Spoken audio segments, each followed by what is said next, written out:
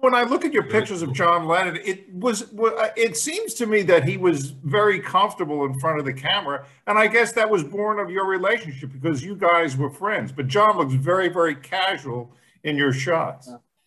Well, because we were casual together. Yes, I mean that part came about because we were friends.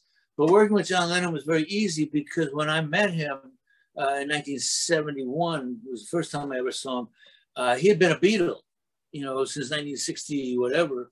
Um, and as Beatles, they did photo sessions every day, several times a day. Uh, it's an interesting thing. If you look at pictures of the Beatles, they're wearing a different outfit in almost every single picture. There are pictures of the Beatles in every outfit, from bathing suits to duck costumes. Uh, I am the walrus, you know, but there's a million different suits, ties, shirts, polka dot shirts, black shirts, you name it. There's a picture of the Beatles. They must have done because they're only together like what four or five years.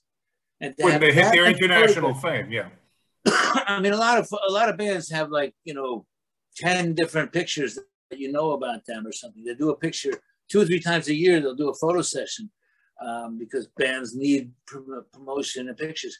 But the Beatles must have done photo sessions every day, sometimes a couple of times a day, because you just see unbelievable number of pictures of them in different outfits, different places.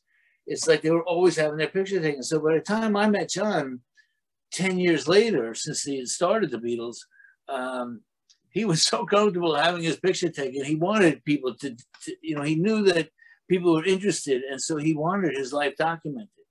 So it was no problem to him to have a, a photographer around all the time in the studio or in the kitchen.